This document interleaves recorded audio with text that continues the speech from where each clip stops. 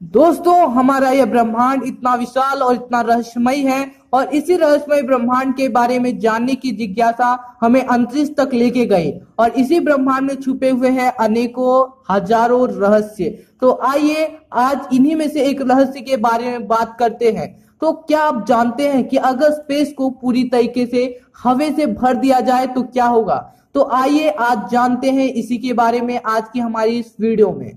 तो चलिए वीडियो को शुरू करते हैं।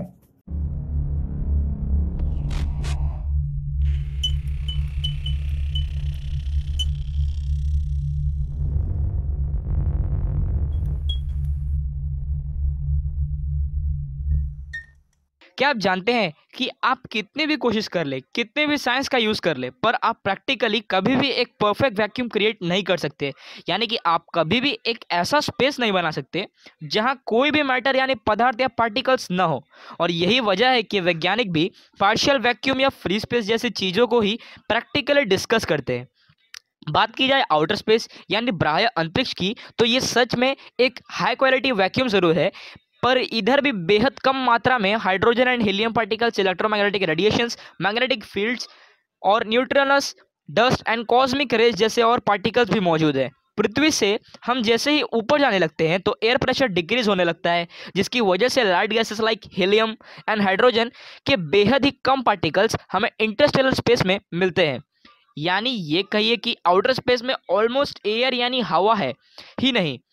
क्योंकि जिसकी वजह से ये एक हार्ड वैक्यूम भी कहा जाता है। पर अब ज़रा सोचिए और दिमाग लगाइए कि आखिर क्या होगा? अगर पृथ्वी के वायुमंडल में, यानी एटमॉस्फेयर में, अंतरिक्ष में हवा मौजूद हो, जहाँ एयर डेंसिटी भी सेम एटमॉस्फेरिक एयर जितनी हो, क्या होगा? अगर आउटर स्पेस को एयर से फील यानी भर दिया जाए, अब अगर स्पेस में एयर यानी हवा होगी तो इस सभी चीज़ों की समस्या बिल्कुल कम हो जाएगी और स्पेस में घूमना बेहद आसान हो जाएगा। हालाँकि रेडिएशंस सोलर विंड से बचने के लिए हो सकता है कि हमें सूट्स की ज़रूरत पड़े, पर इतना ज़रूर है कि स्पेस मिशन के लिए ऑक्सीजन सप्लाई की समस्या लगभग खत्म हो जाएगी और साथ ही स्पेस कोलोनाइजेशन भी पॉसिबल हो पाएगा। यानी आप एक प्लानट से दूसरे प्लानट या चंद्रमा पर आसानी से जा सकेंगे और साथ ही हमारे स्पेस रिलेटेड साइंटिफिक रिसर्च की स्पीड भी बढ़ जाएगी। है ना ये काफ़ी कमाल की बात। खैर, ये तो कुछ थोड़ी सी अच्छी खबर थी, जिसके बारे में आपने शायद सोचा भी होगा, पर असली चेहरा और सच तो अब आपके सामने आने वाला है। अंतरिक्ष कर देगा आपको बहरा।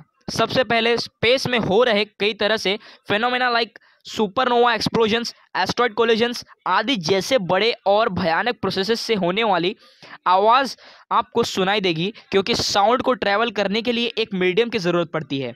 फिर भी वो चाहे एयर यानी हवा ही क्यों ना हो। एग्ज़ाम्पल के तौर पर अगर आप सन यानी सूर्य को एक अप्रोप्रिएट डिस्टेंस पर पर भी होंगे तो आपको 290 डेसिमल जितनी लाउड साउंड सुनाई देगी।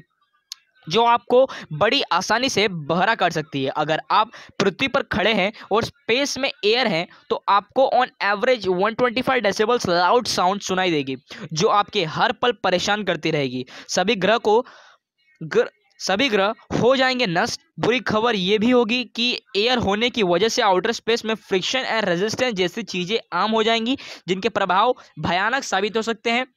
सबसे पहले तो फ्रिक्शन की वजह से स्पेस में हमारी स्पीड काफ़ी लिमिटेड हो जाएगी, क्योंकि अगर हम हायर स्पीड पर ट्रैवल कर, करने लग जाएँगे तो एयर एंड फ्रिक्शन की वजह से कोई भी high speed moving object like spaceship आसानी से जल सकता है।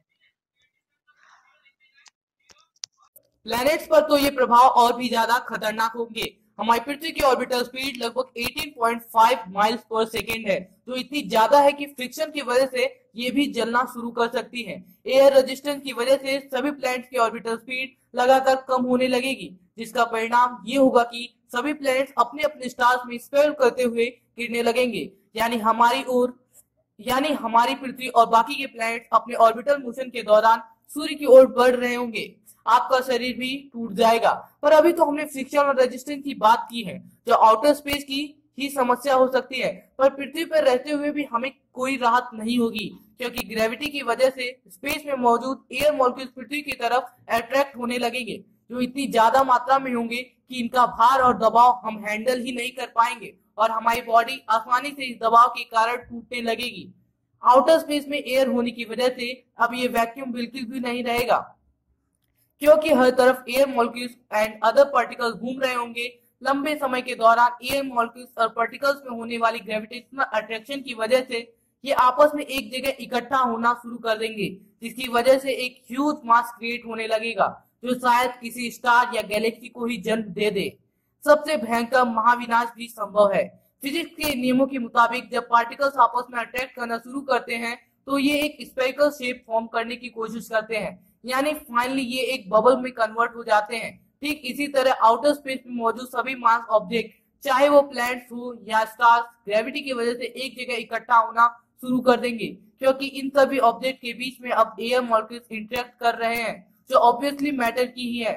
स्पेस फिल्ड विथ एयर यानी पूरा मैटर आपस में इंटरेक्ट करते हुए एक जगह पर इकट्ठा होना शुरू कर देंगे। जो किसी भी मैसिव ब्लैक होल की तरह नज़र आएगा। हालाँकि ऐसा होने में बेहद लंबा समय ज़रूर लगेगा तो ब्लैक होल फॉर्मेशन की संभावना ज़रूर होगी, जो सब कुछ खत्म कर देगा।